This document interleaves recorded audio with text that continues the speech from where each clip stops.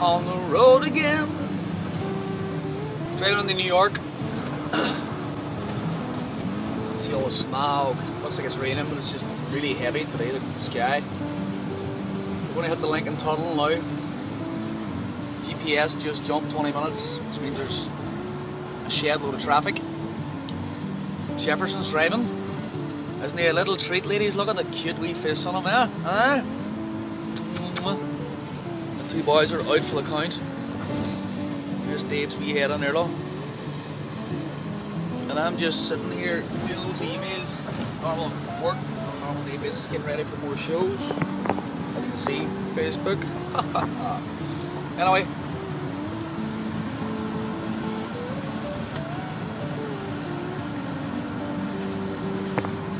Next stop is Yonkers.